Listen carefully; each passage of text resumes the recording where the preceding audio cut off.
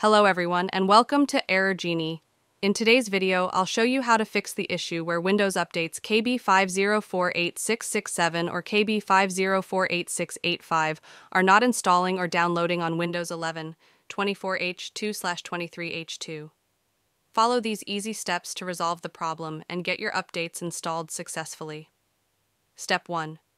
Run the Windows Update Troubleshooter Open Windows Settings by pressing Windows plus I. Navigate to System, then Troubleshoot then, Other Troubleshooters. Find Windows Update in the list and click Run. Allow the troubleshooter to detect and fix issues. Restart your computer after the troubleshooting is complete. Retry the update installation. If this doesn't solve the problem, proceed to the next step. Step 2. Reset the Windows Update cache. Sometimes, a corrupted update cache can cause issues. Here's how to reset it. Stop update services. Open the command prompt as administrator. Type CMD in the Windows search bar, right click on command prompt, and select Run as administrator. In the command prompt, type the following commands one at a time and press enter after each. Arduino copy code, netstop wuauserv netstop, cryptsvc netstop, bits netstop msiserver, delete cache files, press Windows plus R, type percent windir backslash software distribution, and press enter. Delete all files and folders inside the software distribution folder. Restart update services. In the same command prompt window, type the following commands and press enter after each.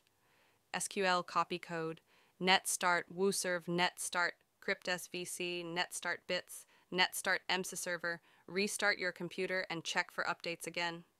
Step 3. Use the Windows Update Assistant. Use the link in the video description to visit the Windows Update Assistant page on Microsoft's website. Download and run the Windows Update Assistant tool. Follow the on-screen instructions to update your system. Restart your computer after the update process is complete. Step 4. Perform a system file check. Corrupt system files can interfere with updates. Here's how to fix them. Open the command prompt as administrator. Run the following commands one at a time bash copy code sfc slash scannow DISM slash online slash cleanup image slash restore health. Allow the scans to complete and repair any issues. Restart your computer and retry the update. Step 5. Install the update manually. Go to the Microsoft Update Catalog website using the link in the description. Search for the update KB5048667 or KB5048685 in the catalog. Download the appropriate version for your system, x64 or ARM. Run the downloaded file and follow the installation prompts. Step 6. Use the Media Creation tool, last resort. If none of the previous methods work, you can update your system using the Media Creation tool. Visit Microsoft's website using the link provided in the description. Download the Media Creation tool, run the tool, and select Upgrade this PC now. Follow the prompts to download and install the latest Windows 11 version, including updates.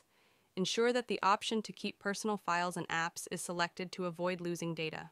One of these steps should resolve the issue with KB 5048667 or KB5048685 updates on your Windows 11 PC.